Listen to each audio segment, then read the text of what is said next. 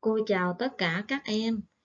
Vậy là các em phải tạm dừng đến trường sau kỳ nghỉ Tết để phòng dịch Covid-19. Mặc dù vậy, chúng ta vẫn học trực tuyến ở nhà thật tốt nha các em. Để khởi động cho ngày học hôm nay, cô trò chúng ta cùng nhau nghe hát bài Bé tập đếm.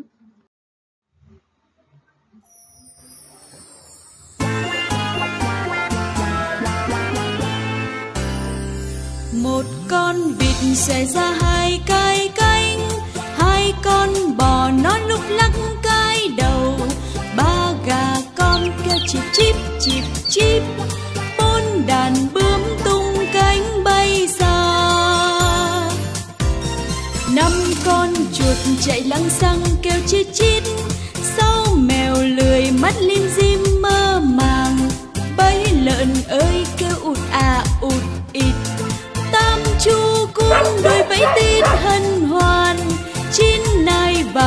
tròn xoe ngơ ngác. Mười chim ơi, cùng bé hát liêu lo một, hai, ba, bốn, năm, sáu, bảy, tám, chín, mười. Một con vịt xẻ ra hai cái cánh. Hai con bò nó lúc lắc cái đầu. Ba gà con kêu chip chip chip chip. Bốn đàn bướm xa. Năm con chuột chạy lăng xăng kêu chít chít sáu mèo lười mắt lim dim mơ màng. Bấy lợn ơi kêu ụt à ụt ịt, tam chu cung đôi vẫy tít hân hoan. Chín nai vàng mắt tròn xoe ngơ ngác, mười chim ơi cùng bé hát liêu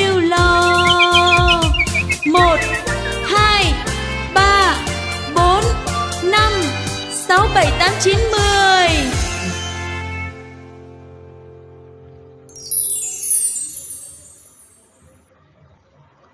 Bài hát vừa rồi có tên là gì vậy các em? Đúng rồi, đó là bài Bé tập đếm. Thế còn các em thì sao? Các em không những đã đếm được qua 10 mà còn biết cách đếm làm sao cho nhanh nữa. Vậy đó là những cách nào? Chúng ta cùng ôn lại nhé. Các em quan sát trên màn hình và đếm xem có bao nhiêu khúc gỗ, bao nhiêu khối lập phương.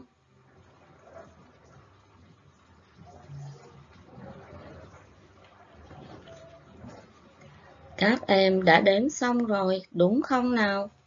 Một bó có 10 khúc gỗ, 10 bằng một chục, có 80 khúc gỗ, 80 bằng 80, vậy có tất cả là 80 khúc gỗ. Tương tự, một thanh có 10 khối lập phương, có 50 khối lập phương, vậy có tất cả là 50 khối lập phương. Cô tin chắc là tất cả các em đều đếm nhanh và chính xác. Vậy, khi xác định được từng chục trong mỗi hình, thì các em sẽ đếm thêm chục cho nhanh. Bài 2. Số. Em hãy tính, rồi viết số thích hợp vào chỗ chấm. A. 60 cộng 20 bằng chấm chấm chấm. B. 70 trừ chấm chấm chấm bằng 40. C. 50 bằng chấm chấm chấm cộng 30.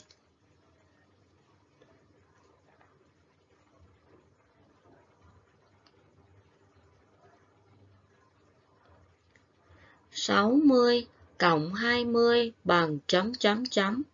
Bài này chúng ta sẽ thực hiện như thế nào? Đúng rồi, chúng ta sẽ chuyển về chục để tính. sáu chục cộng hai chục sáu chục cộng hai chục bằng tám chục. tám chục bằng tám mươi. Vậy, sáu mươi cộng hai mươi bằng tám mươi. B. 70 trừ chấm chấm chấm bằng 40. Để tìm kết quả, chúng ta sẽ đếm bớt chục. bắt đầu từ bảy chục. Đếm cùng với cô nào. Bảy chục, sáu chục, năm chục, bốn chục. Đã bớt đi mấy chục? Ba chục. Vậy, bảy mươi trừ ba mươi bằng bốn mươi. Chúng ta còn một cách nữa, đó là đếm thêm chục. Nào, bật ngón tay cùng đếm với cô. Bắt đầu từ bốn chục, năm chục, sáu chục, bảy chục. Vậy, bảy mươi trừ ba mươi bằng bốn mươi. C. năm mươi bằng chấm chấm chấm cộng ba mươi. Chúng ta cũng thực hiện tương tự ta sẽ đếm bớt chục từ năm chục, bốn chục, ba chục. Chúng ta đã bớt đi hai chục. Vậy, năm mươi bằng hai mươi cộng ba mươi. Cũng có thể đếm thêm chục từ ba chục, bốn chục, năm chục. Vậy, 50 bằng 20 cộng 30. Các em tìm được kết quả rất dễ dàng, phải không nào? Đối với các phép tính tròn trục, để tìm kết quả, các em sẽ tính hoặc đếm, đếm bớt trục hoặc đếm thêm trục.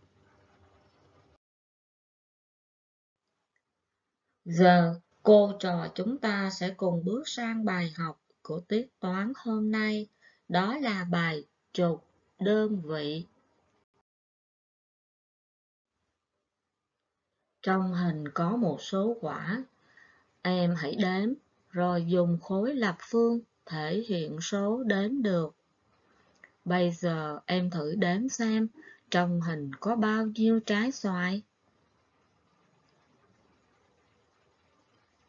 Em đếm được bao nhiêu trái xoài? Đúng rồi, có 17 trái xoài. Em hãy dùng khối lập phương để thể hiện số 17 đi nào. Em sẽ gắn 17 khối lập phương thành một thanh trục và 7 khối lập phương, đúng chưa nào? Vậy, một trục và 7 đơn vị, ta có số 17. Nhìn vào mô hình khối lập phương, lặp lại cùng với cô nào. Một chục và bảy đơn vị, ta có số 17. Số 17 được viết bởi hai chữ số. Chữ số 1 ở bên trái, chỉ số chục. Chữ số 7 ở bên phải, chỉ số đơn vị. Em hãy viết và đọc lại nhé. 17 gồm một chục và 7 đơn vị. Em hãy viết vào sơ đồ tách gộp số đi nào.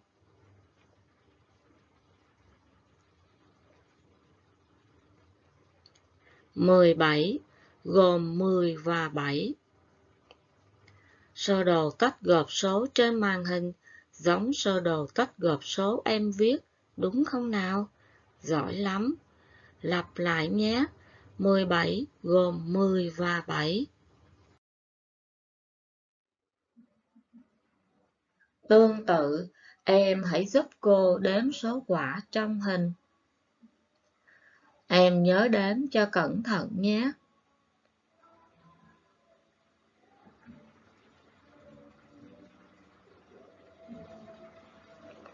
Số quả đếm được là 30 quả.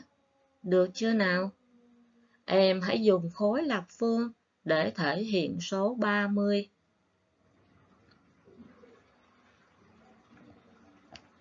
em sẽ gắn 30 khối lập phương thành 3 thanh trục. Vậy, 3 trục và không đơn vị, ta có số 30.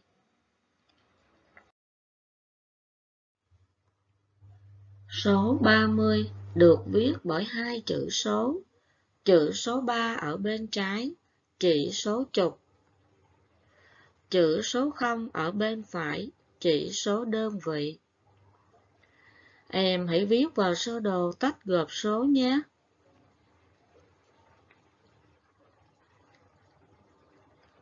Thực hiện rất dễ dàng, phải không nào? 30 gồm 30 và 0. Em hãy quan sát lại mô hình thanh trục và đếm lại số khối lập phương trong thanh trục rồi cho cô biết một thanh trục có mấy đơn vị.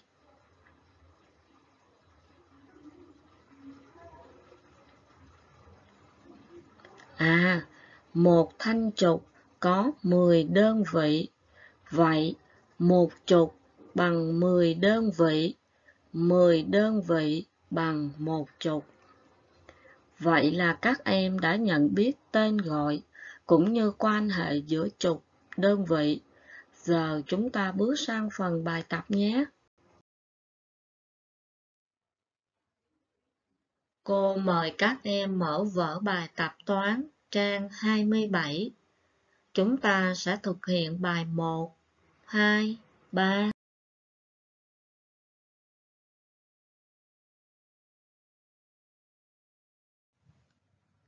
Bài 1. Viết vào chỗ chấm theo mẫu.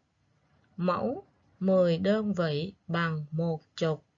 Dựa vào mẫu, em hãy viết vào chỗ chấm. Một chục bằng chấm chấm đơn vị 30 đơn vị bằng chấm chấm chục, 6 chục bằng chấm chấm đơn vị.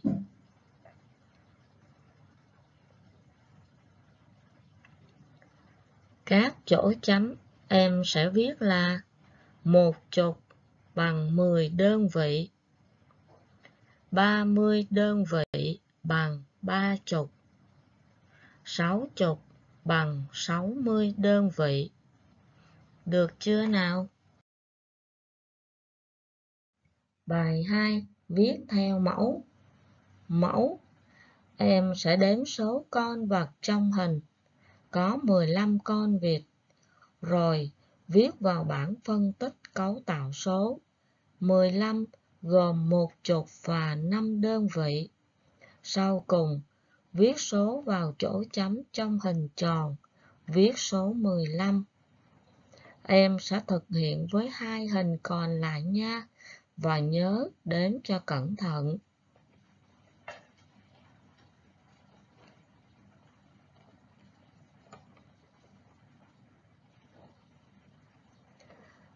Em, hãy đối chiếu với bài làm trên màn hình nhé.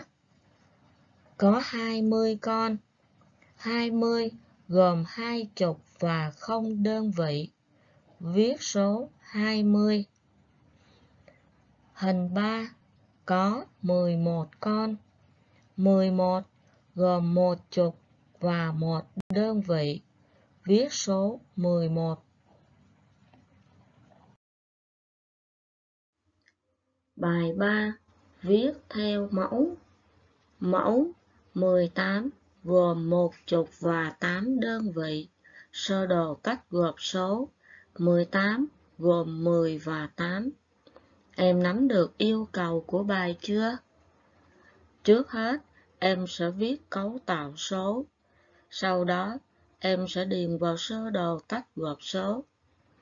Em thực hiện nha.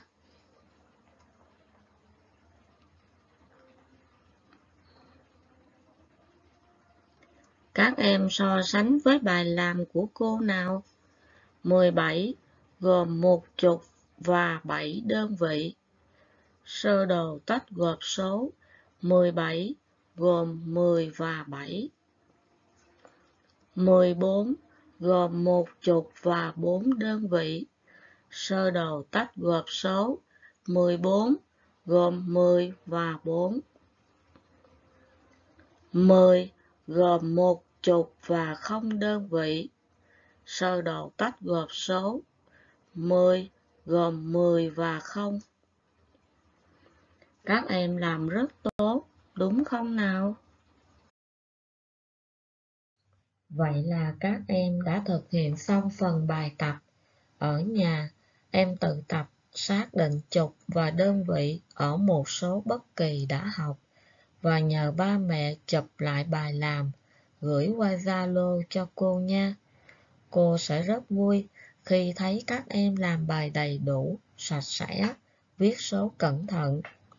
Cô thương chúc các em chăm ngoan học giỏi. Cô hẹn gặp lại các em.